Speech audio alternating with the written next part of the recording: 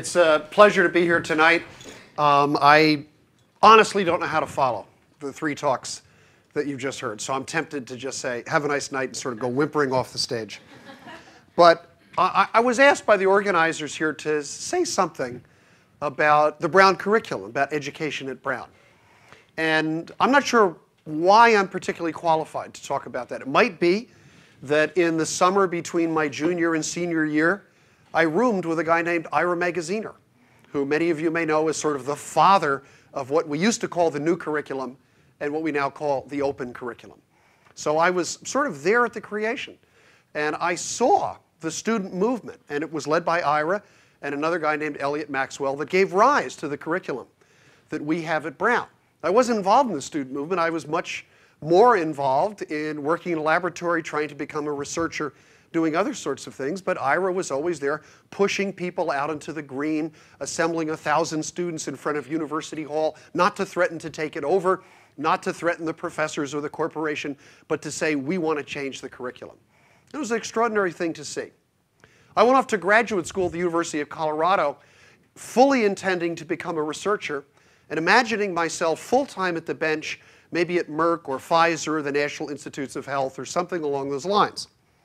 And a funny thing happened along the way, and that is being a graduate student, I was exceptionally poor. I was trying to get by on a stipend of about 200 bucks a month, so I was willing to do literally anything I could to earn a little extra cash. I taught swimming lessons, I umpired slow pitch softball in the intramurals. Um, I, you know, I would have been willing to sweep up around the dorm to earn a few extra bucks. And then I heard of a company at the university called Pink Elephant Notes. And what Pink Elephant Notes advertised is if you were, a, if you were a student in one of these huge lecture classes, and introductory biology at Colorado at the time was taught in a theater that seated about 1,200 students. That's how many were in the class. For $15.95 of the sem a semester, think of the bargain, for $15.95 a semester, you could subscribe to Pink Elephant Notes that were taken allegedly by a doctoral candidate in your field. They'd be typed up, and at the end of the week, you'd get these authorized notes taken by, the, taken by this brilliant person eh, or working for a PhD in history or English or biology or chemistry or whatever. And I figured I'd try out for this position. So I tried out, and lo and behold, I got it. And it paid big bucks, $5 a lecture. So I was able to make 15 bucks a week, and that was serious money. That was enough money to go out on a Saturday. Oh, that's right, you guys don't go out, so never, don't worry about that. But that was enough money to give me a good Saturday night.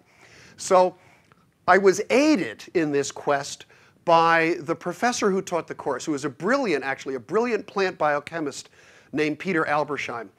But Professor Albersheim got tangled up very often in his own explanations. And I would sit there in this huge auditorium, furiously taking notes. And then when the class ended, there was no class in there right after it, I would sit there by myself for about half an hour. And in my, on my note papers, I would draw a line, and I would then write, here's what Dr. Albersheim really meant today. And then I would try to extract the general ideas from his thoughts. And this became like a regular column in the Pink Elephant notes. And the sales, I was told, of the biology notes were just off the charts. And part of it was because I was working hard, but the other part is, God bless him, Dr. Albersheim was so confusing. And one day, I'm sitting in class, and he was being more confusing than usual. And I was just working like crazy, and a student whom I did not know sitting next to me hit me in the elbow, and he said, why are you working so hard? And I said, I'm trying to get the notes down. Shut up. And he says, get them from the pink elephant. And I said, I am the pink elephant. and he looked at me like I had said I was Brad Pitt. I mean, that's. So, as it turns out, the next time I came to class and I went to my usual seat, not only was he there waiting for me, but five of, her, five of his friends were too. And he said, Would you tutor us? And I said, Will you pay me? And they said yes, and I figured, okay, I can make another 10 bucks a night doing this sort of stuff. And what I did was simply meet with them in a conference room in a dormitory and go over whatever they wanted to go over in that particular week in class. And I hadn't expected this because I was concentrating simply on being a researcher. But I realized for the very first time, and I did this a couple times before I became aware of it, I would walk away from these sessions with a tremendous feeling of satisfaction. And I'm thinking, what's this coming from? I don't get it. And then I realized, and those of you who've taken my classes, it, it was the Krebs cycle. Um, I walked away from one of these sessions after I had sort of unraveled the Krebs cycle for these students, and I realized there is an enormous satisfaction that I now appreciate every instructor, every teacher knows, in trying to get through a difficult concept and suddenly seeing the light go on in somebody's head. And when you teach, and if you've taught for a long time, it's almost a physical reaction. You can see the eyes open, the neck snaps back, the pulse quickens. It's just an extraordinary thing. And I realized for the very first time that I rather liked that, that I enjoyed that.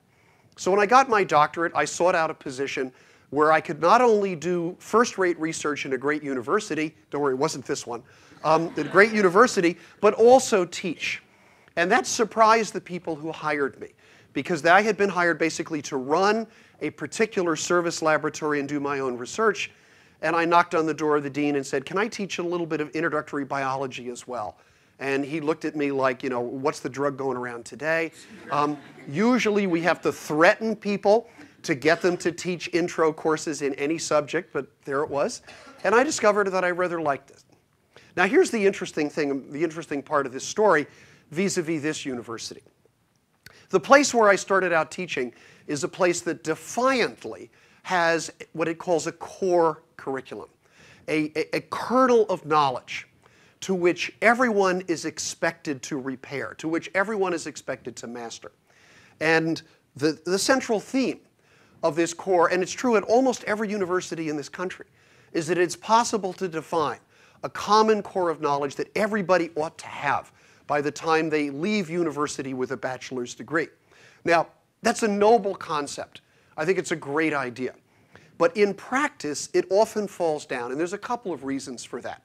In my own field, in biology and in science in general, a core requirement that says everybody's got to take a life science course inevitably leads to a segregation of students. So, in other words, you have that sort of life science or biology for poets that everybody's got to take, and then, to avoid the dreariness of that course, the department will set up a special biology course for the students we really do want to teach, and those are the students who are going to major in biology. So you have majors courses and non-majors courses and so forth. And I became intimately aware of how this works because for, oh, seven or eight years, I chaired the education committee of a major scientific society in this country, and one of my jobs was to run an education seminar for our members at our annual meetings. Meetings drew 15,000 scientists, but all of them teach in one respect or another. And I used to help organize workshops on how do you teach these introductory biology courses. And what I heard from colleague after colleague at other universities was these courses are just, just dreadful to teach because the students who are in them, by definition, have been forced to be there. They got to get their tickets punched. As a result, the best professor, the most eloquent one in the department, doesn't get the job of teaching those courses. It goes to the guy or the gal who's the lowest on the totem pole, and it might not even go to a regular faculty member. Very often they're taught by adjunct faculty, somebody you pick off the street. Do you have a PhD? Yes, great. Here's $10,000. Teach this course and keep these kids out of our hair for a semester. Um, so you have the worst of both possible worlds, which is students who don't really want to be there and a faculty member who really is not thrilled about teaching them. When I came to Brown, came, back to Brown because I'd been an undergraduate here uh, in 1980, one of the first things I wanted to see is what happened to Ira Magaziner's dream? What happened to the new curriculum? And I'll tell you what I expected to see. The, the, the, the central element of the new curriculum was to be something called the Modes of Thought course. These are courses that are going to have broad intellectual perspectives. They'll be taught in small groups. They'll be taught by distinguished tenure track faculty members, and they will concentrate on ways of thinking rather than simply rote memorization of content. So I, you know, I unpacked my bags, moved into my lab, and walked out in search of modes of thought courses and discovered that there weren't any of them, that they had become virtually extinct. And there's a number of reasons for that relating to the history of how these courses were supported or not supported. But what I did find was here was the open curriculum. And I immediately went to another dean and said, besides teaching the advanced cell bio course that you hired me to, I want to teach introductory biology. And he also had to be picked up off the floor. And he said, okay, fine, we'll go ahead and do this. And one of the things that I discovered right away was that this open curriculum made this a great place to teach science. And what I mean by that is we don't have a required life science course at this university. So what does that mean? It means that when I walk in to my course, Biology 200, it's now called, on the first day of the semester, there's three kinds of students in that class. There are students who know they want to major in biology or psychology or one of the life sciences. There are students who aren't sure what they want to major in, but they want to keep the door open to med school or something like that. And there are students who aren't going to major in science, don't want to be pre-med, but they just want to learn some biology, or they've heard it's an interesting course. But it means 100% of my students, in one way or another, have chosen to be there. What effect does that have on me, or any instructor in a course like that? Well, the answer is it brings out the best in you. And it brings out the best in terms of effort. It also brings out the best in terms of demand, in terms of what you do, do for your students and what you demand of them and expect of them. And it makes this an absolutely extraordinary place to teach. I also found this was an extraordinary place to do research.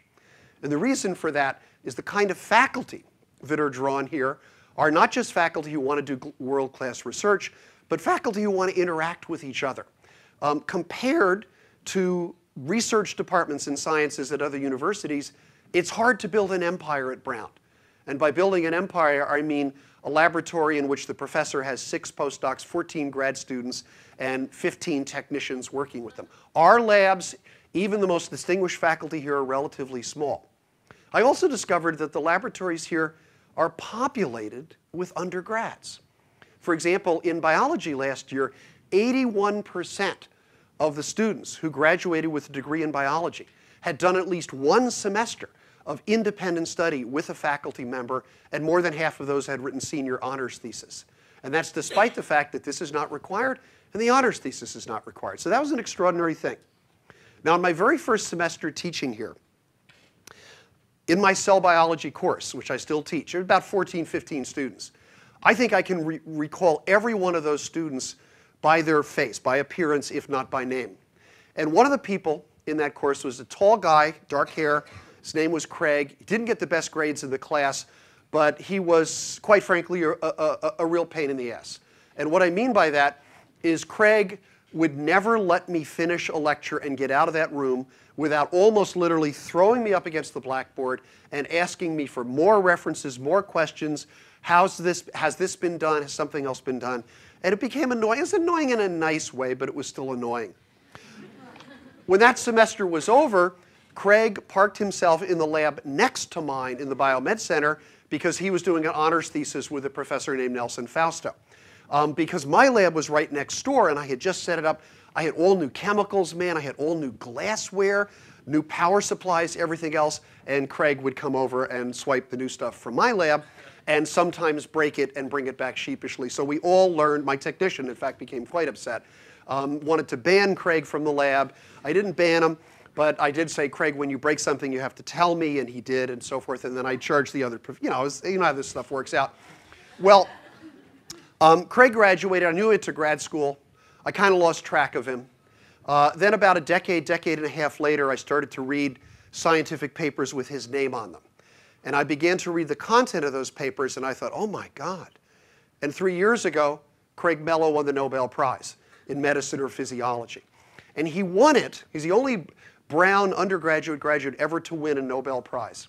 And what, what Craig did is, to me, indicative of what the Brown education allows one to do. He and a colleague named Andrew Fire discovered a phenomenon which we now call RNA interference. And when you look at the history of this phenomenon, what you would discover is evidence for this process was in plain sight. People had been looking at it, finding it in their experimental results for like 15 years, but no one had ever put the elements together to really try to explain the various phenomena until it came across Craig's, it came to Craig's attention. And if I have to say one thing about the educational system at Brown, the fact that it places such pressure on you as students to organize your own education, to make your own decisions, to in effect set up your curriculum, because we're not going to tell you what that core is, you have to decide that for yourself.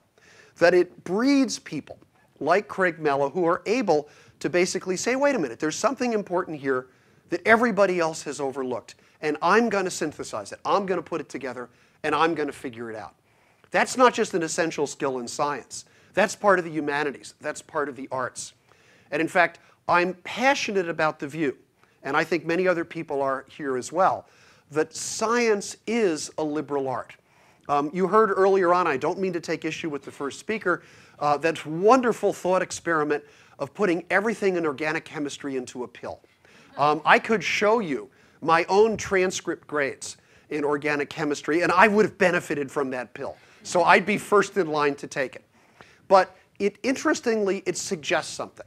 And it suggests, for example, that organic chemistry is a bunch of stuff that you learn.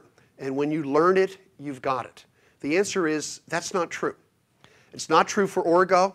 It's not true for immunology. It's not true for anything else. Science involves learning stuff. You have to know what people did before. If you're going to major in English, you really ought to know what Shakespeare wrote. But you also ought to understand the context of creativity in terms of Shakespeare or the context of discovery in terms of science. Because every single fact, every single alkene, every single structure, every single SN1 and SN2 reaction in organic chemistry, I see some of you are wincing right now, was in fact discovered by someone who applied extraordinary creativity to it. Now, the, to me, the thing about a Brown education and our unwillingness to say, here's the core, here's what you must learn, is that very often it doesn't work. And what I mean by that is it is very possible at Brown to take the course of least resistance, try to find an easy way out, and just go ahead and do it. And there is no core curriculum, there's no set of distribution requirements to force you into that Western Civ course, to force you to learn a language, to force you to take higher mathematics or anything else. That's up to you. And I think very often we fail at this. And we graduate students who basically don't have the kind of knowledge that we expect. But we also succeed in ways that I don't think are possible with any other educational system. When I talk to my colleagues at other universities and they say, how does that curriculum work? I say, it works here, but it wouldn't work everywhere. It works for a special kind of student, the kind of student who says, I want to construct my own education. And like everything that anybody ever tries, sometimes when you try to do it yourself, you mess it up and you fail. Sometimes you succeed and you succeed brilliantly. But either way, you learn a lesson. And the important lesson essentially is that you are capable of taking the world of knowledge, organizing it, and constructing it in a way that makes sense for you. So I think in sum total, um, and I hate to think about this, I've been here as a faculty member for 31 years.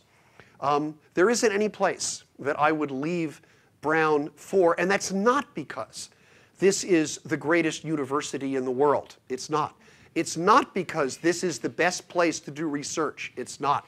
It's not because it's absolutely the best place to teach, because it's not. There are other universities and situations with better resources, maybe with higher pay, with better research facilities and so forth and so on. Not by much, but certainly, certainly there.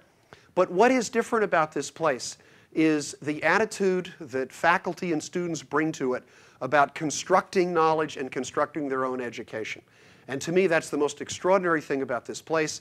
That's what makes this a great place for me to be a scientist and to teach science. And that's what makes this experience special beyond all belief and valuable beyond all measure. Thanks.